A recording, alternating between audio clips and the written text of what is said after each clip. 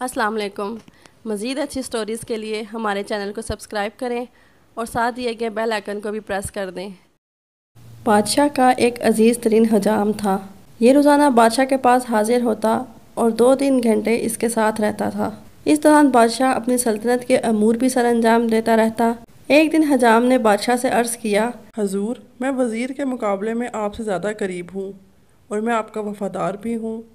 तो आप मुझे इसकी जगह वज़ीर क्यों नहीं बना देते? बादशाह मुस्कुराया और उसे जवाब में कहा मैं तुम्हें वज़ीर बनाने के लिए तैयार हूँ लेकिन तुम्हें इससे पहले एक टेस्ट देना होगा। आप हुक्म कीजिए बादशाह सलामत। बादशाह बोला बंदरगाह पर एक बैरी जहाज़ आया है। मुझे इसके बारे में मालूम ला कर दो। हजाम हुक्म की तामील करते हुए दौड़कर बंदरगाह पर गया और वापस आकर बोला जी बादशाह सलामत जहाज़ वहाँ खड़ा है।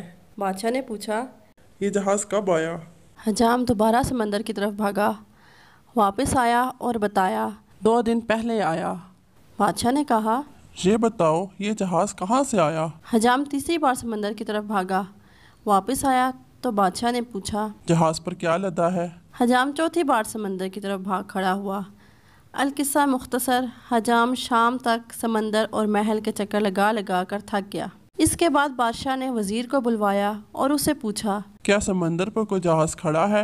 वज़ीर ने हाथ बाँध कर अर्ज़ किया, जनाब, दो दिन पहले एक तजारती जहाज़ इटली से हमारी बंदरगाह पर आया था।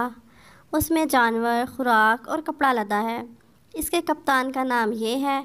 ये छः माह में यहाँ पहुँचा। ये चार दिन मज़ीद यहाँ ठहरेगा। यहाँ से ईरान जाएगा और वहाँ एक माह रुकेगा और उसमें दो सौ नौ लोग सवार हैं। और मेरा मशवरा है हमें बहरी जहाज़ पर टैक्स बढ़ा देना चाहिए। बादशाह ने यह सुनकर हजाम की तरफ़ देखा। हजाम ने चुपचाप अपना उसरा उठाया और अर्ज़ किया कलमा छोटियाँ रखा या वडियाँ